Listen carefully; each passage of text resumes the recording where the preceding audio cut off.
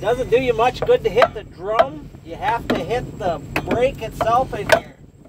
Okay, so use the punch and show them where, because I got to get a little closer. You got to get in the in the on the center of the brake in here on the brake shoe itself, and then hit it sideways. That'll break it loose. Okay, so you have to do that front and back on both sides.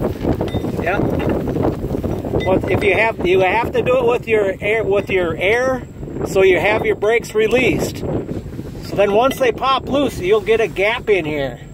Okay, so release the air, use the punch, use the big hammer, put it on the flat part of the brake, on the actual. Flat part of the brake if you can. If you only have a hammer, try to hit it right on this edge, right here.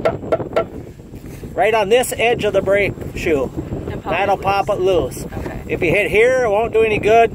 And if you hit here on the brake lining, it may crack the lining.